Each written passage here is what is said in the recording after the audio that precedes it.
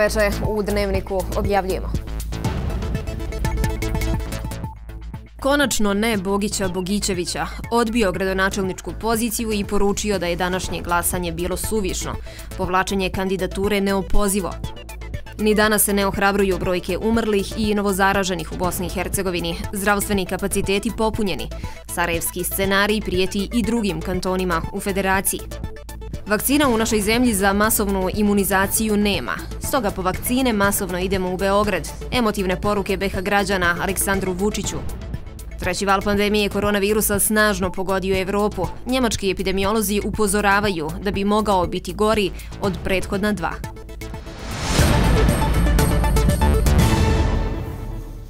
Bogić Bogićević zvanično je odbio poziciju gradonačelnika Sarajeva. Nakon što je danas izabran jednoglasno, čekalo se njegov odgovor. U večernjim satima Bogićević je poručio da je povlačenje kandidature bilo neopozivo, a glasanje suvišno.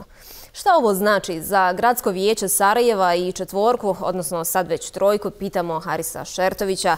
Harise, najprije, kome je Bogićević potvrdio svoje ne i zbog čega?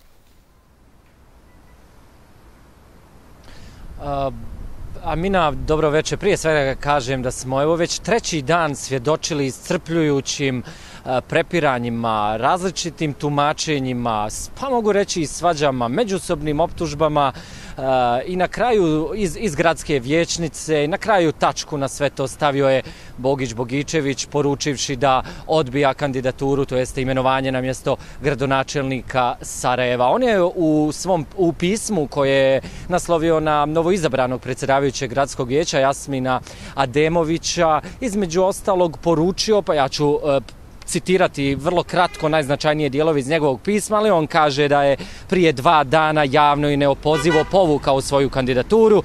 O tome je obavijestio i predlagača i javnost. Neopozivo povlačenje znači konačnu odluku o kojoj se dalje ne može razgovarati. Bilo bi pošteno, tvrdi dalje, da navodi dalje da preuzmete odgovornost za današnja dešavanja u gradskom vijeću, umjesto što krivicu pokušavate da prebacite na mene, dajući mi neke nove rokove za izjašnjavanje, o čemu sam se već neopozivo izjasnio. Dio ovo samo kažem pisma koje je Bogić Bogićević uputio Jasminu Ademoviću, predsedavajućem gradskog vijeća. Mnogi vijećnici, ali oni, iz, eh, eh, oni vladajući, eh, su nakon današnje sjednice bili optimistični. Nama medijima su rekli da ipak očekuju da će Bogić Bogićević prihvatiti tu kandidaturu obrazlagali su i argumentirali to dodatno i sa zaista snažnom podrškom koju on dobio ne samo među građanima glavnog grada, nego i cijele Bosne i Hercegovine. Predlažem da poslušamo šta su to govorili i sa kakvim uvjerenjem su uvjeravali i nas i sebe da će Bogić reći da, a na kraju je rekao ne. Postoje ozbiljne indicije da će gospodin Bogićević prihvatiti. Ovo se danas desilo previše brzo, nije, nije, nije se moglo iskoordinisati sa gospodinom Bogićevićem, tako da smo e, ispred e, predsjednika političkih subjekata iz koji dolaze e, stranke većine zamoljeni da odluku, odnosno prihvatanje gospodina Bogićevića prolongiramo za koji dan. Ja se nadam da će to biti već početak iduće sedmice. Ja se nadam da će on, da će on prihvatiti i vjerujem jer do ponedjeljka, do te konstituirajuće sjednice, on imao jasnu podršku a, vijećnika gradskog vijeća, kojih je ukupno 28 i svi su se nekako u javnosti deklari, deklarisali da ga podržavaju. Međutim, od ponedeljka do, do od zapravo srijede, pardon, a, do danas je on mogao vidjeti da uživa potpunu podršku svih građana Sarajeva, gdje samo u jednom danu se napravi Facebook grupa gdje preko 30.000 ljudi da njemu podršku, billboard podrške i ostalo. Harise, šta slijedi nakon ovakve odluke Bogića Bogićevića? Ima li trojka plan? E, za sad nismo čuli nikakav plan, to ćemo znati vjerovatno naredne sedmice. A Mina, vrlo je važno objasniti možda cijelu ovu proceduru vrlo kratko. E, vratit ćemo se na srijedu kada je počela zapravo konstituirajuća sjednica gradskog vijeća koja je naglo prekinuta. Jedan od najvećih razloga tome je zapravo bio e, imenovanje predsjedavajućeg gradskog vijeća Jasmina Ademovića na, e, za kojeg se od početka tvrdilo da ima e, e već većinu unutar tadašnje četvorke. Na samom glasanju pokazalo se da te većine nema, on je osvojio svega 10 glasova i to je bio okidač da od četvorke danas dobijemo trojku. S, jedne, s druge strane, to je ponudilo i brojne međusobne optužbe, kako je navodno bilo riječi o političkoj e, korupciji, trgovalo se tu navodno glasovima, ucenjivalo, bilo je raznih ponuda, sve će to na kraju biti, kako su najavili iz jeli, sadašnje trojke predmetom i e, krivičnih prijava i u nadležnosti e, tužilaštva. E, Jasmina Demović je na nastavku današnje konstituirajuće sednice na kraju dobio podršku, imenovan je. Uoči tog imenovanja njegov stranački šef Elmedin Konaković je u jednom Facebook statusu rekao da on ima i genetske predispozicije da vlada. Kasnije on nešto korigovao taj svoj status. Bogić Bogičević, da se samo vratim, da, da napravim paralelu, prosto da bude svima jasno. Bogić Bogičević je danas rekao ne i završio uh, i stavio tačku na tu priču, bio je sasvim jasan. Uh, međutim, otvorio se jedan zarez. Uh, Jasmina Demović, predsjedavajući gradskog vijeća, ja sam s njim razgovarao, tražio sam izjavu za našu televiziju, on je također rekao ne, dok ne vidi kakav ishod će biti uh, odluke Bogića Bogičevića. Ako bude ne, kao što i jeste, Ademović je najavio i ostavku na mjesto predsjedavajućeg gradskog vijeća. To je novi problem za trojku. Sada moraju ponuditi ime novog kandidata za gradonačelnika Sarajeva s jedne strane, a s druge strane moraju ponuditi imena e, ljudi koji će biti u novom rukovodstvu, predsjedavajući i njegova dva zamjenika. U svakom slučaju ovaj politički ja ću ga nazvati debakl, nije završio, on će se nastaviti naredne sedmice. A mi ja bi sa ovim završio javljanjem, za kraj bi još samo rekao da e, ovo Bogićevićevo ne koliko god bilo na neki način e, razočarenje kod građana ne samo Sarajeva nego i Bosne i Hercegovine, S druge strane pa govori da u politici je vrlo važno imati princip i karakter, možda je to najbolja poruka kako se u politici treba raditi, a iz druge strane vjerujem da je sačuvao obraz onih iskrenih pravih bosanaca i hercegovaca. Ispred gradske vječnice u Sarajevu, a mina za dnevnik 2, toliko. Bio je ovo kolega Haris Šertović. Harise, hvala na uključenju. Pored političke, teška je i epidemiološka situacija. Brojke zaraženih koronavirusom u Bosni i Hercegovini su u porastu. Povećan je i broj preminulih. Zdravstveni sistem je na izmaku snage. Najgori scenarij koji prijeti jeste da broj zaraženih, koji trenutno ima kanton Sarajevo, bude preslikan u ostatak zemlje. Ogromni su pritisci na zdravstveni sistem koji godinu dana nemoćno gleda u brojke zaraženih koronavirusom. Dnevno te brojke premašuju 500, kaže šef klinike za infektivne bolesti Kliničkog centra Univerziteta u Sarajevu, Rusmir Baljić. Ono što je trenutno problem i što će vjerovatno biti problem u narednim danima, baš što se tiče nas, je da imamo sada veliki pritisak i pacijenata iz drugih kantona, pogotovo Bosansko-Podinskog, dakle iz Goražna nam dolaze svi teški pacijenti, pošto oni nemaju uslove za smještaj i tretman takvih pacijenata. Evo, već unazad par dana imamo i teške pacijente iz Travnika, iz Zemce. Trenutno imamo 208 pacijenata i imamo dole više od 10 pacijenata koji već čekaju na prijem odnosno čekaju da se ovaj, ovi kapaciteti naši isprazni. Tako da smo mi u zadnje vrijeme ubrzali te otpuste da bi praktično ovaj, oslobodili ove krevete za prijem novih bolesnika. I nisu problem smještajni kapaciteti. Kreveta ima, ali deficit je educiranog osoblja. Medicinari izloženi 24-satnom radu sa najtežim pacijentima i sami bivaju zaraženi. Ogromna je potrošnja kisika. Naši sagovornici istog sustava. Ovaj val je neuporediv sa prošlogodišnjim. Opravdan je strah da će se scenario iz kantona Sarajevo manifestovati u ostatku zemlje. Pa mi smo to upozoravali prije skoro 20 dana i već je prenošeno na druge kantone. Po mojim informacijama, svi odjeli ovaj, u Mostaru su puni, a kad sam ja upozoravao na to prije 20 dana, imali su samo 9 pacijenata.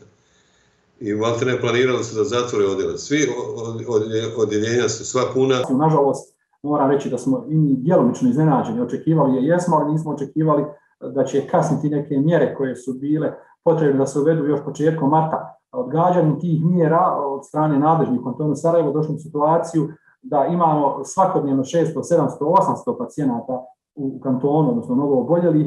Svjedoči o tome i današnja statistika za Bosnu i Hercegovinu. 1869 osoba pozitivno je na koronavirus, a zabilježeno je 76 smrtnih ishoda. Od toga u federaciji 1260 pozitivnih i 59 smrtnih slučajeva. Republika Srpska bilježi 505 novozaraženih i 16 preminulih. U Brčko distriktu su zabilježena 104 nova slučaja zaraze. Jedna osoba je preminula. Nakon ovakvog koronabilansa ljekarima je ostao još apel građanima. E, da zamolim stanovništvo, e, dakle oni koji gledaju da se zaista čuvaju ovo što trenutno imamo u Sarajevu, to je vrlo vjerovatni scenarij koji se desiti i u ostatku Bosne i Hercegovine. Nadam se da će biti možda malo više neke volje i znanja da se na vrijeme e, reaguje, da se povedu, da se vode računa o nekim restriktnim mjerama S obzirom na to da je veliki broj COVID-19 bolesnika hospitaliziranih u kliničkom centru Univerziteta u Sarajevu, za čije stanje se interesuju članovi porodica, klinički centar uveo je telefonske centre u kojima su zaposlene medicinske sestre koje isključivo daju informacije o stanju bolesnika, a koje dobiju od ljekara. I zdravstveni radnici u Hercegovačko-Neretvanskom kantonu su na izmaku snaga. Gotovo svi bolnički kapaciteti su popunjeni. Stoga pripremaju reorganizaciju. Peti sprat glavnog objekta kliničke bolnice Mostar će biti prenamijenjen za potrebe COVID pacijenata. I u kantonalnoj bolnici kapaciteti su puni. Naš infektivni odjel je praktično COVID odjel i hajmo reći, kontinuirano je e, popunjenost tog odjela ovaj, bila nekih 80-90%, međutim, zadnjih mjesec dana je ovaj, e, apsolutno u punom kapacitetu i što je ovako najzabrinjavajuće da su kliničke slike i da su pacijenti, da nam dolaze sve teži i teži pacijenti, odnosno sa teškim kliničkim slikama. Naši kapaciteti skoro da dosežu svoj limit, Nažalost, jako puno je pacijenata, do sada nismo imali ovakve popunjenosti i to nas jako zabrinjava za budućnost. Ambulante porodične medicine su pretrpane pozivima građana koji žele da se vakcinišu. Liste prioriteta biće određene prema rizičnim grupama kroz te aktivnosti će se odmah praviti prioritetne grupe. Prilikom naručivanja na osnovu karakteristika osobe starostnih, medicinskih će se, dakle, oni koji se žele vakcinisati već srstavati u određene prioritetne grupe. Početkom naredne sedmice biće nastavljena vakcinacija zdravstvenih radnika, a potom i ostalih prioriteta. Mi smo staračke domove već završili jer oni nisu bili izričiti u izboru za cijepivo, tako da to je druga prioritetna skupina i onda treća faza su pacijenti iznad 60 godina. U kantonalnoj vladi kažu da je otvorena mogućnost i uvođenja novih mjera uz one već postojeće, a to su policijski sat i zabrana rada ugostiteljskih objekata od 21 sat. Hoće li biti potrebe za uvođenjem novih mjera, dakle treba nam ponovno određeno vrijeme da vidimo kakvi su efekti onih mjera koje su trenutačno na snazi. Umeđu vremenu štrajk zdravstvenih radnika u Hercegovačko-Neretvanskom kantonu je nastavljen. Podsjetimo da je 20. decembra prošle godine u generalni štrajk stupilo 2600 zdravstvenih radnika iz Hajn kantona koji traže potpisivanje kolektivnog ugovora. S obzirom na tešku epidemiološku sliku, ovakvo razvijanje situacije gdje se bolnički kapaciteti pune, moglo bi dovesti do sloma zdravstvenog sistema. Ništa kao pandemija nije razotkrilo činjenicu da u ovoj zemlji nema sistema, te da je vlast dovoljna sama sebi. Ali zato u njoj još ima ljudi koji i pored toga idu u korak sa svijetom, nastojeći zaštititi zdravlje stanovništva. Potvrđuje to primjer Doma zdravlja u maloj opštini Gornji Vakuf Uskoplje. Priču ima Nađa Ričić. Kada je u ovo doba prošle godine zabilježen prvi smrtni slučaj pacijenta pozitivnog na COVID-19, zdravstveni radnici u Domu zdravlja u ovoj općini koji po opremi kadru više liči na manju bolnicu, odlučili su uvesti pretragu takozvanog brzog testa na COVID-19 koji se radi na antigen virusa od tada do danas za stanovnike ove, ali susjednih općina u Ralju su, kažu, gotovo 9000 testiranja. Mislim da smo i tu među prvima u Bosni i Hercegovini što se tiče efikasnosti. Praktički jedan test se može uraditi za neki 20 minuta, ali obzirom da mi svaki dan imamo veći broj pacijenata, onda nam treba 2-3 sata. Kolika je ovo pomoć u diagnostici zaraze opasnim virusom potvrđuje broj od blizu 90 trenutno zaraženih, 140 u izolaciji te 20 na bolničkom liječenju, jer virus neumoljivo hara.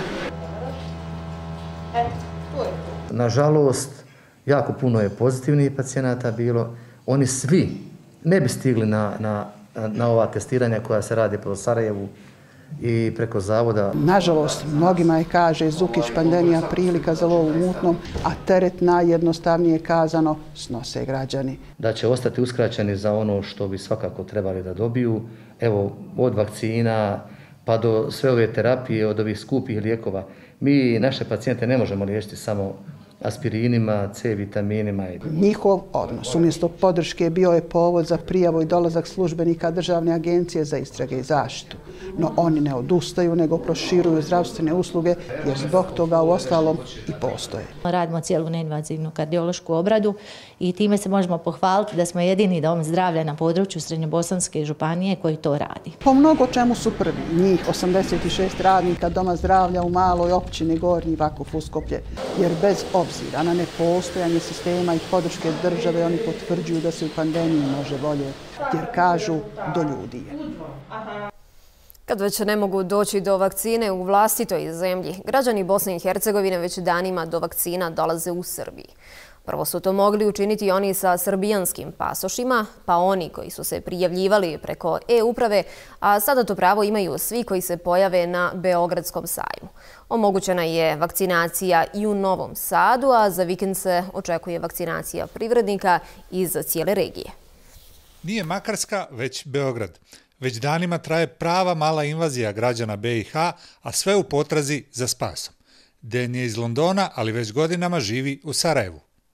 Čuo sam preko medije i preko prijatelje da ima neki vakcinacija u Beograd. Već mi smo registrirali. Došli smo danas zato što je bilo u javnom oglasu i onaj da ima besplatna vakcina za državljane i strane državljane u Republici Srbiji. Tako da smo stigli. A kod nas gore u Bosni i Hercegovini još nije počela imunizacija. Na raspolaganju je AstraZeneca. Nezvanično, rok im ističe 29. marta, a građani Srbije nisu baš najudoševljeniji mogućnošću da njom budu vakcinisani, ali ima koga to ne brine. Ne, ne, ne, nije uopće bitno. Mislim, to medicinski nosvješteni samo razmišljaju o tome koja je vakcina. Mislim, svaka vakcina je dobra i to uopće nije bitno koju ću primiti. Je li sve bilo u redu? Sve osim činjenice da su morali doći u drugu državu na dozu zaštite. Kod nas je to sve nula za sada.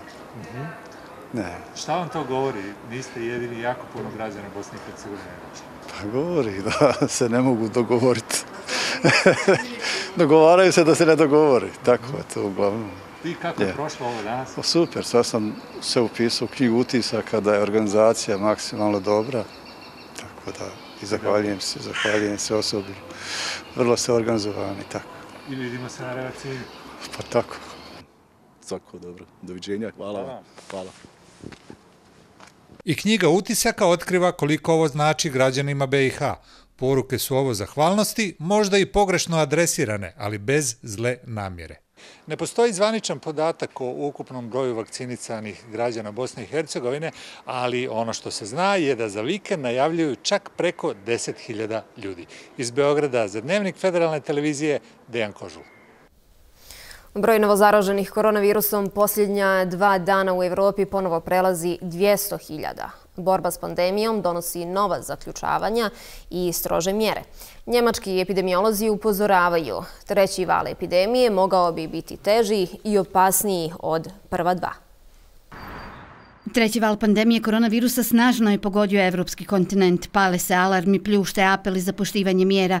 Epidemiolozi u Njemačkoj upozoravaju, ako ne spriječimo treći val, možemo imati stotinu hiljada zaraženih dnevno. Postoje jasne naznake da bi ovaj val mogao biti teži i opasniji od prva dva. Moramo biti spremni za nagli porast u broju slučajeva, da više ljudi postane ozbiljno bolesno, da bolnice budu opet preplavljene i da još više ljudi umre. Ako ovo bude nastavljeno bez ikakve kontrole, rizikujemo da naš zdravstveni sistem dostigne svoje ograničenje u aprilu. Već smo vidjeli povećanje broja pacijenata zaraženih koronavirusom na intenzivnoj njezi. Zbog povećanog broja zaraženih koronavirusom i pritiska na odjele intenzivne njege, mnogi evropljani se odlučuju na oštrije mjere. Građani su pozvani da predstojeće uskašnje praznike provedu u krugu porodice. Pandemija COVID-19 ubrzano se širi u cijeloj Francuskoj. Pritisak na bolnički sistem biće intenziviran u sljedećim danima. Pokazala se potreba za proširenjem zaštitnih mjera u tri regije. Lideri zemalja članica Evropske unije frustrirani su zbog manjka isporuka vakcina protiv COVID-19. Na samitu u Briselu nisu uspjeli dogovoriti zabranu izvoza vakcina proizvedenih u Uniji, ali podržavaju plan Evropske komisije o uvođenju strožije kontrole.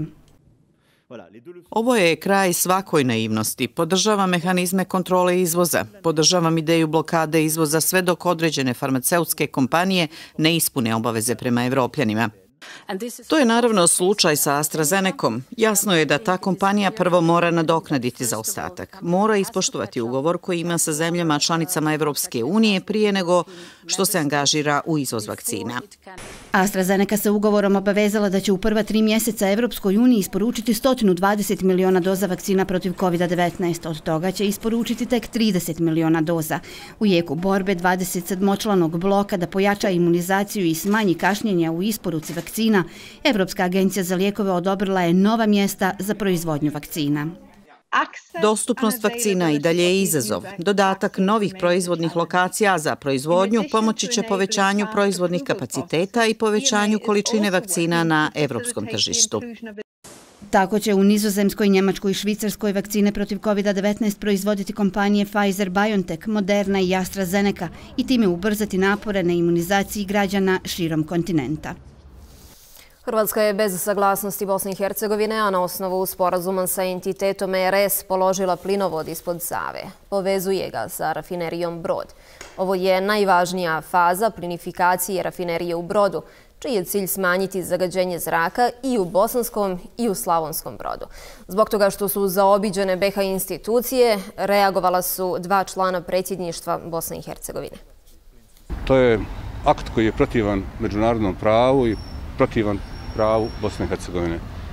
Dakle, to je nešto što prvo sporazum koji je, memorandum koji je zaključen 2017. godine je ništavan, jer na njega nisu dale odobrenje vijeće ministara parlamentarna skušna i predsjedništvo Bosne i Hercegovine. Dakle, država Bosne i Hercegovina u to nije bila uključena. A ovo sada, ako su cijevi postavljene preko granice, preko granične linije povreda teritorijalnog integriteta Bosne i Hercegovine. Ovo je sasvim dovoljan povod da se traži odgovornost direktora granične policije BiH i da nadležni organi SIPA i tužilaštvo BiH odmah provjere eventualnu umješanost pojedinaca u ovakvu nezakonitu aktivnost. Očekujemo od Ministarstva sigurnosti BiH da odmah stupi u kontakt sa graničnom policijom BiH koja mora učiniti sve da se bespravni radovi odmah zaustave. Vlada Republike Hrvatske neizostavno mora zaustaviti sve radove na plinovodu. Riječ je o potpunom skandalu i udaru na suverenitet države Bosne i Hercegovine. Član predsjedništva Bosne i Hercegovine Šefik Džaferović posjetio je bošnjake povratnike u Banja Luci i Kotor Varoši s ciljem analiziranja položaja povratnika u entitetu Republika Srpska. Tom prilikom poručio je da je diskriminacija prisutna, ali da moraju učiniti sve da bi povratak bio održiv. Diskriminacija, egzistencija, održivi povratak, ali i zapošljavanje Bošnjaka u entitetu Republika Srpska ključni su problemi za rješavanje od kojih se ne odustaje. Aneks 7 Dejtonskog mirovnog sporazuma kao jedan od najvažnijih do sada nije realizovan na način kako bi trebalo da bude. On neće biti proglašen završenim sve dok postoji i jedan povratnik koji želi da se vrati svojoj kući, jer su upravo povratnici najzaslužniji za reintegraciju, ali i izgradnju multietničke i cjelovite Bosne i Hercegovine. Poruka je člana predsjedništva BiH Šefika Džaferovića. Danas imamo diskriminaciju povratnika u entitetu Republika Srpska i u nekim područjima u Federaciji Bosne i Hercegovine, tamo gdje je HDZ na vlasti, imamo diskriminaciju povratnika jer ne mogu da ostvari pravo na svoj materni jezik, bosanski jezik i ne mogu da participiraju u lokalnim i entitetskim organima vlasti onako kako to propisuju ustavi. Džaferović je pozvao sve probosanske političke snage da se uključe u pitanje povratka, jer prema ovom pitanju, kako kaže, svi moramo imati jednak pristup. Muftija Banja Lučki kaže da je teško pobrojati sve probleme, dok je problem zapošljavanja jedan od gorućih, ali i neizvjesna egzistencija. Ukazao je na potrebu da Federacija BiH skrene malo više pažnje na bošnjake u ovom entitetu. Ono što treba raditi to je na zbližavanju dva naroda na ovim prostorom. Mi ćemo čuvati ovaj prostor, boravit ćemo, okupljat ćemo, radit ćemo u školi, radit ćemo u biblioteci, obnovit ćemo muftijski ured. Na tom planu ćemo također danas vidjeti aktivnosti u Kotor Varošu. U Banja Luci je potpisan ugovor za izgradnju vakufa koji će služiti za sjedište muftijstva Banja Lučko kao i projekte Međlisa Banja Luka. U Kotor Varoši potpisan je ugovor za izgradnju dva putna pravca, jednog vodovoda kao i projekat koji će biti realizovan za podršku djeci u nastavnom centru. Vrijednost ovih ugovora iznosi nešto više od 600.000 maraka. Težak dan za federalnu televiziju od posljedica zaraze koronavirusom preminuo je dugogodišnji rukovodilac ocijeka za tehnički razvoj naše kuće Saša Markanović. Cijeli radni vijek proveo je u medijima. Bio je uposlenik televizije Sarajevo, potom BHRT-a, a od 2010. godine radio je na rukovodećoj poziciji federalne televizije i bio saradnik na izradi grafičkog dizajna informativnog programa. Završio je fakultet dramskih umjetnosti u Beogradu. Pamtit ćemo ga kao velikog čovjeka i profesionalca. Gledali ste dnevnik Lemana Rašić večeras u sportskom bloku. Hvala na pažnji i prijatan vikend.